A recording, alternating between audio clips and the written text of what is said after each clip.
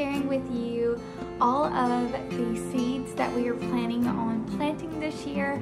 I have some for our vegetable garden, some for our flower beds and cut flower garden, and I'm gonna be showing you what I got, where I got them from, how I store them, and then the book that I also picked up to help me with learning how to can and preserve. If these things are of interest to you, um, please hit the subscribe button down below. I'm going to be bringing you along with me. This is a journey. This is the first year that my husband and I have had a lot of land where we can plant a large garden. We've grown a small one in the past, but this is all new to me, the world of canning, um, preserving my food, that sort of thing. But I'm going to be bringing you along with me and showing you um, my failures and my successes and like I said, if that's of interest to you, hit the subscribe button down below. But I want to get into it. You may notice that it's dark behind me and you may hear some strange noises. I've got the dishwasher going, the oven going. I wasn't sure if I was going to film today, but I'm just really excited and I'm trying to be more consistent this year. So this is what I'm going to be sharing with you today. Maybe the audio will be okay and the lighting is not too strange, but like I said, I'm really excited to share this with you guys. So let's get started.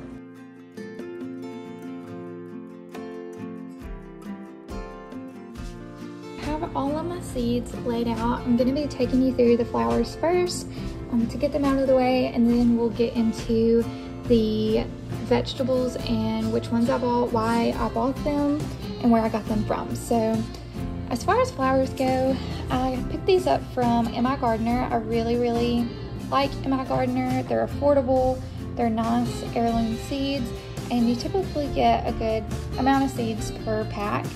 I picked up carnations. I think these are great cut flowers, and depending on what zone you're in, they can be pretty hardy and um, they'll come back every year, so they're perennials.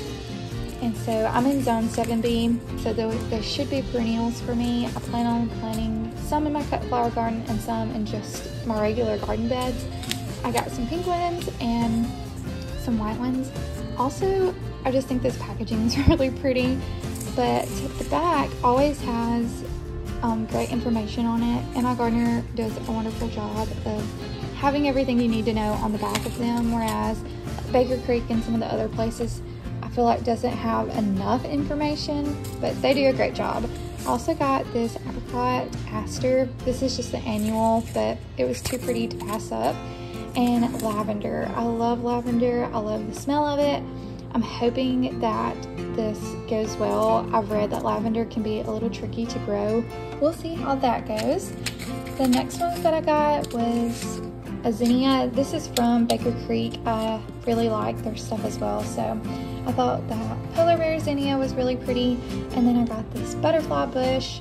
I believe the butterfly bush is a perennial. Not quite sure about the zinnias. I don't think they are. Then some of the ones that I just picked up in store.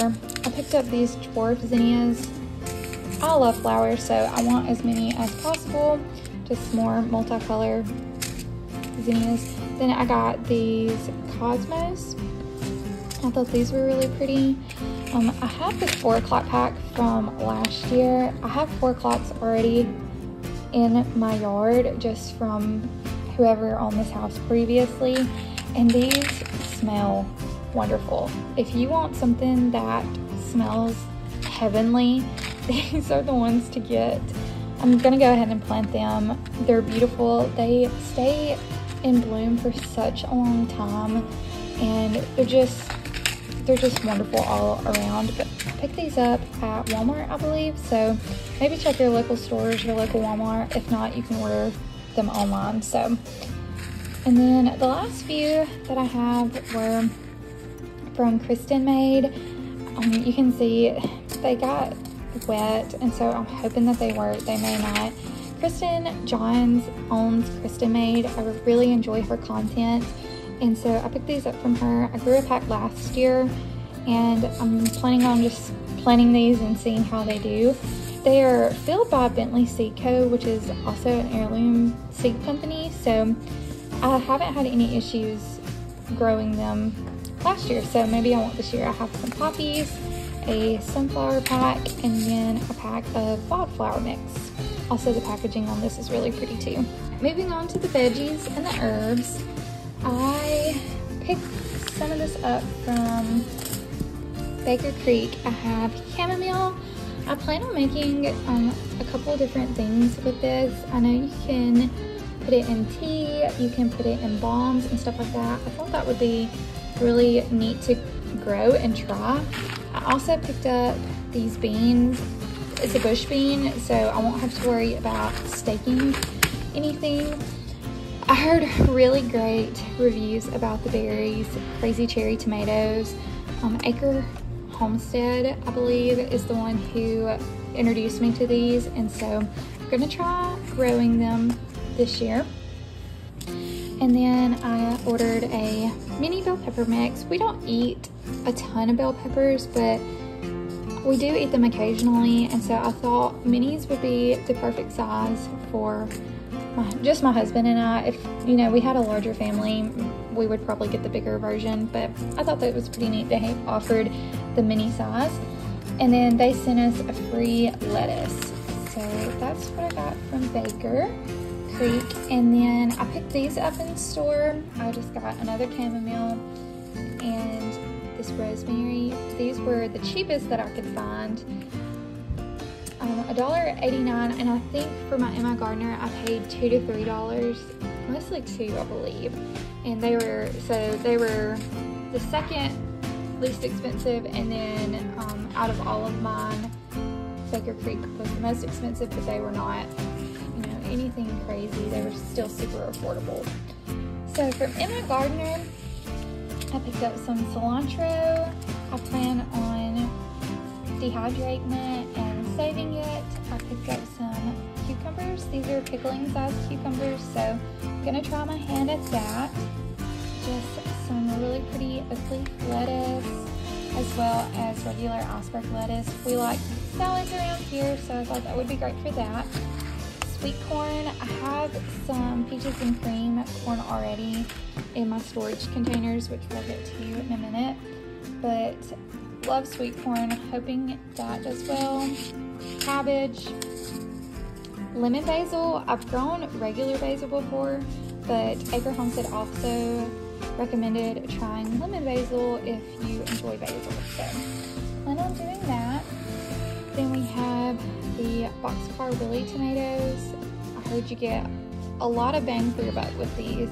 They grow in clusters and I figured they would be great for canning. I'm wanting to do some salsas and just some diced tomatoes and stuff. So I thought those would be great for that. Then for a cut tomato, I got these really pretty beefsteaks. Then crookneck squash is my favorite. Fried squash is the best thing ever, in my opinion. So, really excited about those as well. I got some sweet banana peppers, onions. I've never grown onions. I'm not honestly the biggest fan of onions, but I do like them for their flavor and things when they're cooked. And I don't know how this is gonna go. We'll see. And then last but not least, okra. Pickled okra is another one of my favorites. So got then the two I had left over from Kristen Made with some cucumbers and just some regular cucumbers and then some carrots. I wanted to show you guys how I store my seeds because up until this point, I haven't had a system for it until um, Acre Homestead and a couple other people that I watch that garden recommended this. I got this from Joann. They had a huge container discount not too long ago, and so I think I only paid around $20 for it. But it is this container, obviously. Um, they come in different colors and stuff, but you just open it up, and I labeled all of these myself. I'll link my label maker down below, or it'll be linked in the blog post that I have down below in the description box, but they have these smaller containers on the inside of them that snap close. And so I can put my carrots in here. And then I went ahead and labeled them, but whatever I put in here, I can label. And that way, when you go to garden, you can pull out exactly what you need, or you can store them in here and they're waterproof. So I just thought that was such a great idea. It's a good way to know exactly what you have and what you need or what you want to buy for the year. And I plan on maybe doing one completely with just my veggies and then instead of having, I still have quite a few spots, but instead of having um, just one container that says flowers on it, I may do, I may buy another container and do one specifically for flowers because I could have annuals on one side, perennials on another, or whatever it may be. But I just thought this was such an awesome way to store seeds. And then last but not least, I want to show you the book that I picked up. It is the complete book of home preserving. I'm really blessed that my mom cans. She has been canning for a year or two, I guess. And I have already learned so much from her and just from watching her. But we have our own home now, and I really want to learn so that I can do it myself and not, you know, rely on her canning and giving me cans of the food that they grew in their garden. So my husband and I are planning on growing our own, canning our own, and hopefully canning enough that it will last us through next winter. But this is such a wonderful book. It has so much information and most everybody that I watch or follow who can says this is the book to get.